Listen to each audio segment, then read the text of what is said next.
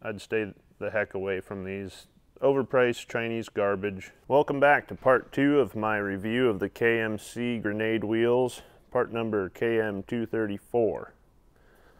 So the last time I was pretty excited about these when I got them.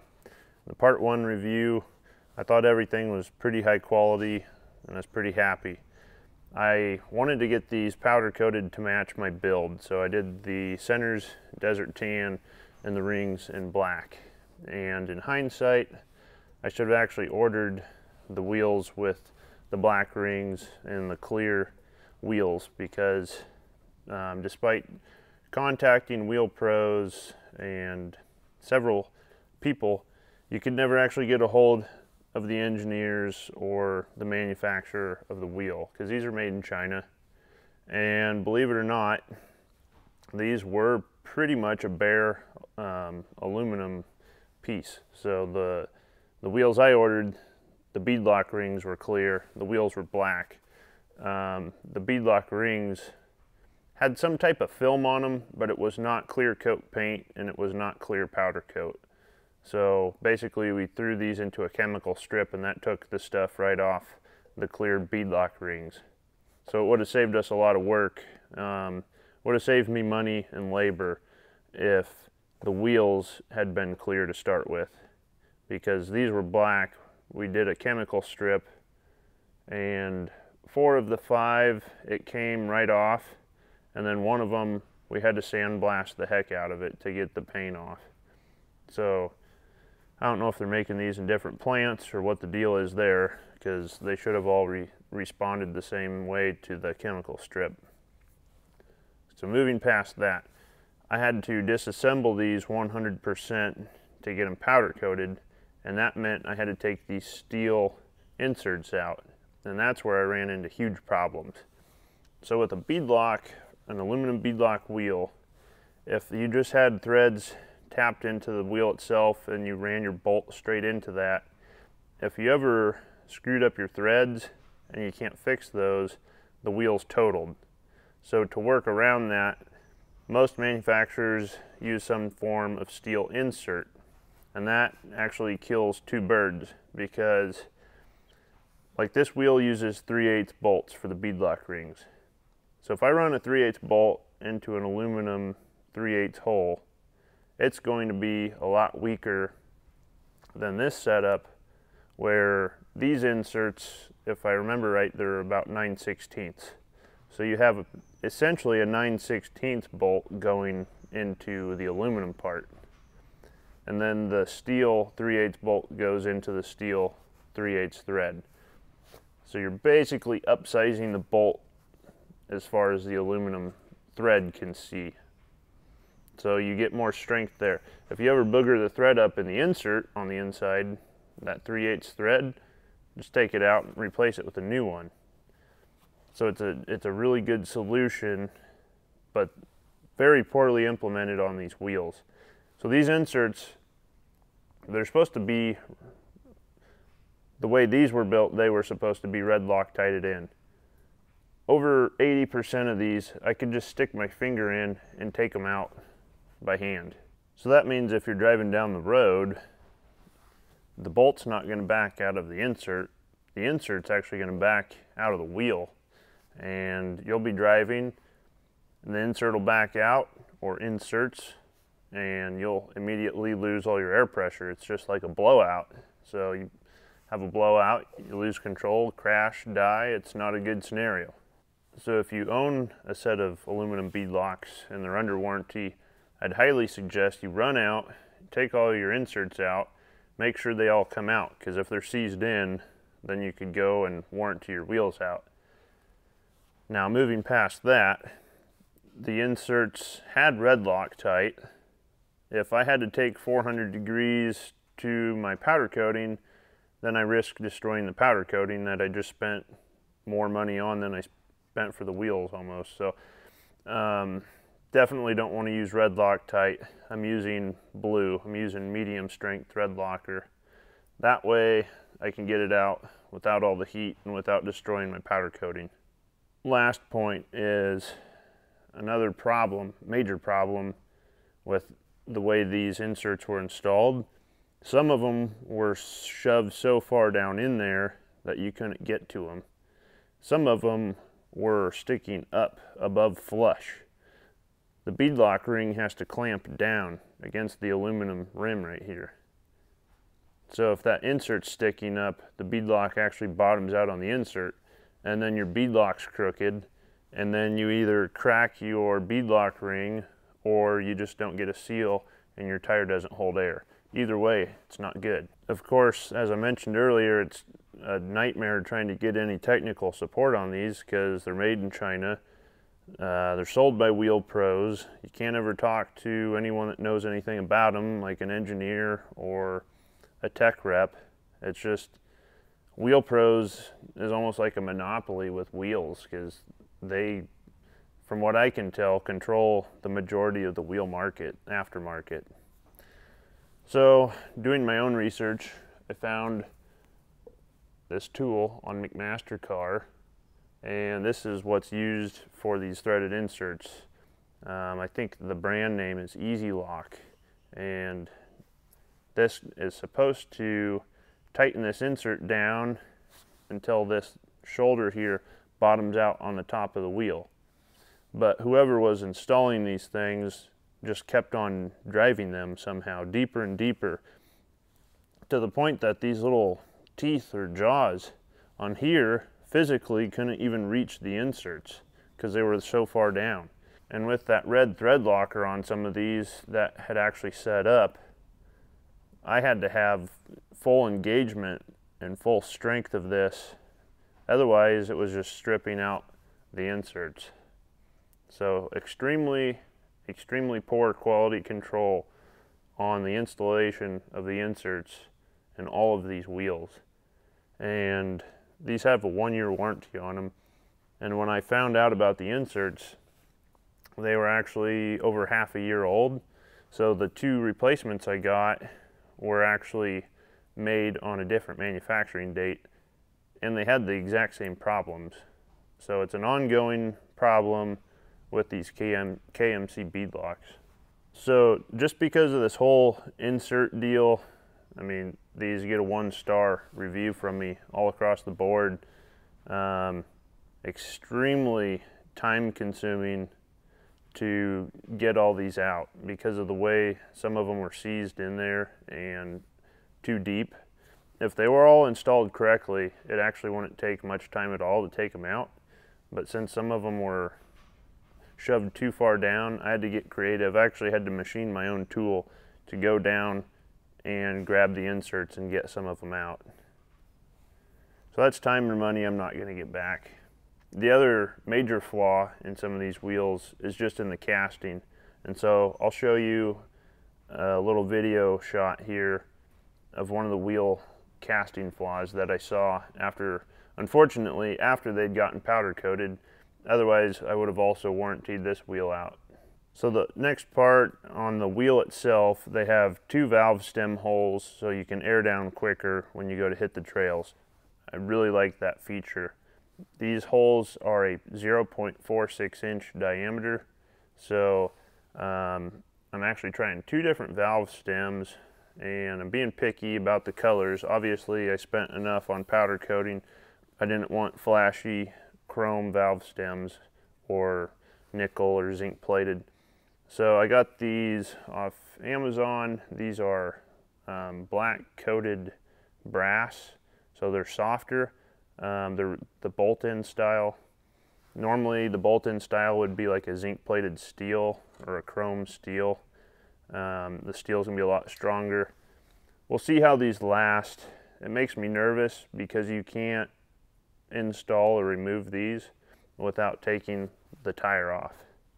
So the point of running these is if I put my air chuck on here um, and walk away from it, the weight of that air chuck's not gonna torque on this like it would on a rubber one and break that rubber valve stem so that it starts leaking. So these should be stronger for that because obviously if you're airing down and doing it frequently enough to the point where you have to have two valve stems, you're gonna not be wanting to sit there and air a 40 inch tire up with your hand holding the air chuck on the valve stem. That would take forever. So I've got a system, I just clamp a chuck over the valve stems and turn it on and I can walk away. And that puts a lot of stress on rubber valve stems and I've had it break them off. On the other hand, I'm also trying some rubber valve stems in some of these wheels. I actually got shorty, stubby ones for an ATV. Um, they're like the shortest that they make. That way they don't stick out and they're not likely to get snagged by a rock. So the perk of the rubber ones is you can actually reach in for sure from this side if, if your beadlock ring was off and the tire wasn't on this lip. You can, you can snake your hand down in there and then I get this flexible tool. This is a pretty cool tool. Um, this end threads onto the valve stem. You put this through the hole, you thread this onto the valve stem, and then you pull it out. And since it's flexible, you can actually string this through and then kind of wrap it around and pull it up, thread your valve stem on, pull it out. This also has the tool to take the valve stem core out and then this side threads on for just doing a quick bleed if you don't want to take the core out. Pretty cool tool. They're about 12 bucks. Um, when I was installing one of these, I put a tire on and I forgot to put the valve stems on. And so I did that. I, sn I snaked that through. And so I'm thinking if I'm on the trail and I cut a valve stem, this uh, going with the rubber route, this would save me a lot of time because these bolt-in ones, you're taking the whole freaking tire back off. I'm thinking possibly you could go to like a tire shop and break the bead off the back side and there's a chance that you could snake this all the way through and put your valve stem on back here and install it. So that's the major perk of going with the rubber valve stems. So that covers everything, I think, with the wheel. Holes for the lug nuts are a little bit on the tight side. You do have to get a thin wall socket to put your lug studs on with. Now, center cap, this uh, ring that bolts on, it's got three bolts that bolted on. It's made out of aluminum also. So I was able to powder coat that. That part's nice. The center cap itself that comes through the center is plastic. So I don't like that because you can't powder coat it to match. Fortunately on my build, I've got lockout hubs on the front. I've got full float rear axles where I want access to my axle flanges. So I'm not gonna be running the center caps.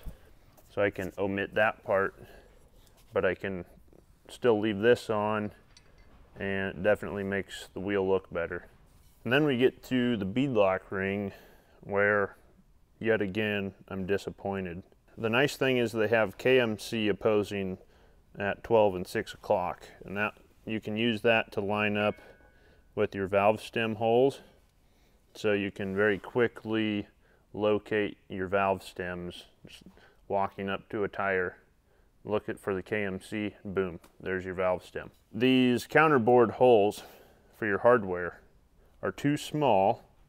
And that's number one, they're too small in diameter. Number two, they're not on the same pattern. They're not on the same bolt circle diameter is what it's called. They're not on the same diameter as the freaking inserts in the wheel. If you look over here at this wheel that I've installed, you can see the bolt is offset towards the inside on all of them.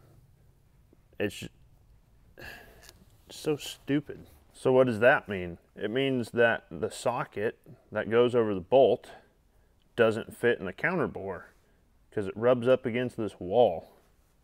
So how do you get past that? Well, I tried seven different sockets before I finally found one that would fit down in this counter bore without stripping my brand new powder coating off. So the fix for it, next time I get hardware, I'm switching to socket head cap screws because then you just use an Allen bit that goes in the center of the bolt problem solved. Bad thing is the socket head cap screws fill up with dirt and you got to sit there and clean them all out before you can put your Allen bit in. Otherwise, you can risk stripping them out.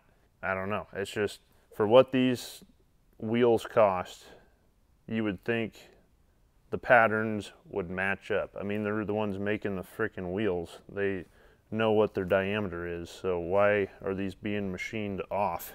Other than that, you can see I've actually changed my hardware out to what they call zinc aluminum coated hardware. It's supposed to be the most corrosion resistant hardware out there and it matches the rest of my build. They'd sent these yellow zinc bolts with the wheels and you know, it's all right, but this stuff wears right off and it rusts sooner than later. So those bolts are the exact same size as these. They're just um, coated with the better stuff. No, those bolts aren't oversized, creating the problem of my socket hitting. They're the same size as these. The wheels are not machined right. They're not made right. As far as assembly goes, I'm in love with how the tires go on and how the wheels assemble. Other than the hardware not fitting, that part really sucks. The reason I have this steel bead lock over here is just so I can kind of give you a comparison.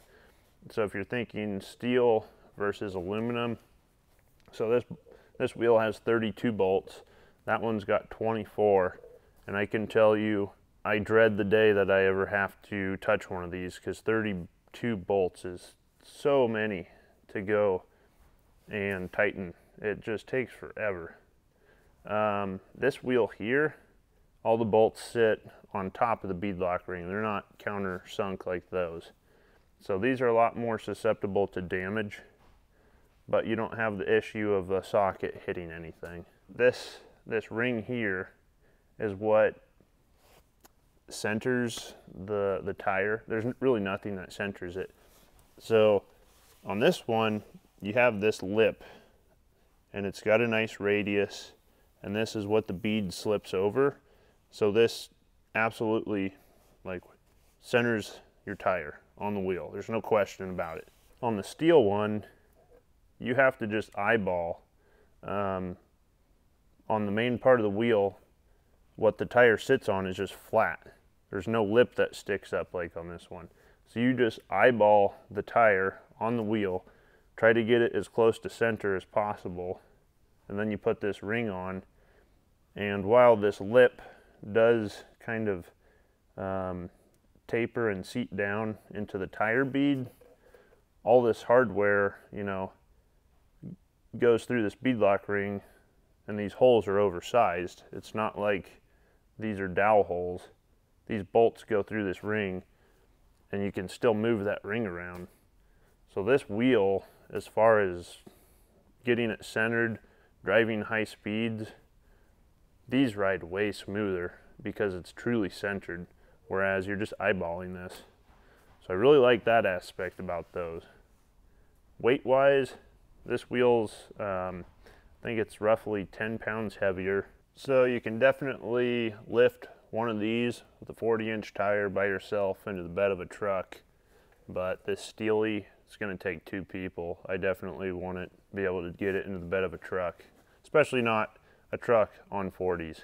So the last thing I'm going to cover, which is one of the parts about having my own YouTube review that I love, is pricing.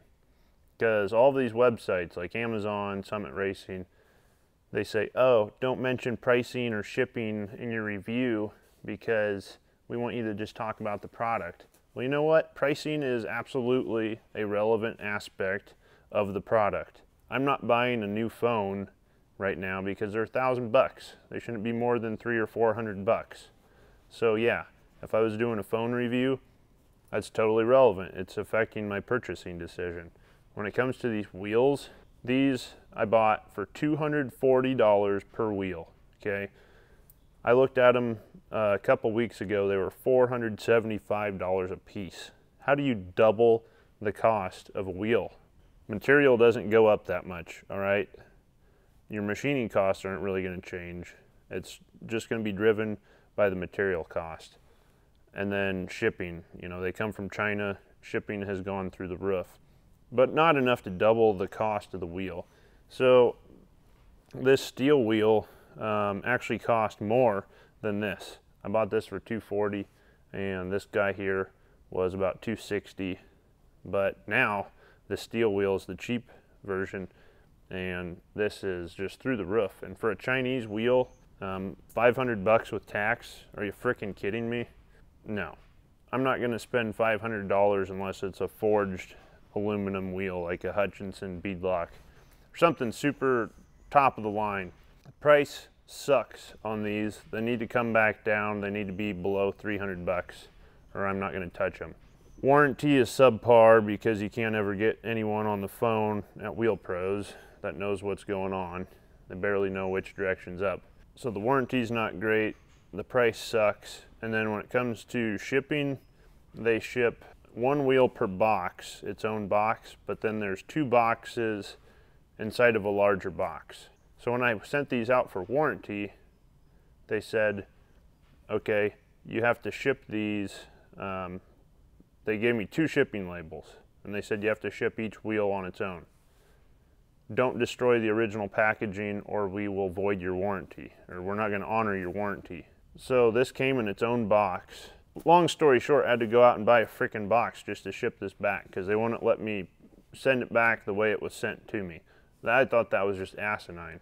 I mean, it makes sense they send two wheels to you in one box, but just the the whole warranty thing was a headache. It was a joke. Um, I put so much time into taking all these inserts out, and it's like, hey, could you just let me keep the inserts I took out as spares to compensate me for my time on all this? And they're like, absolutely not. You got to send everything back.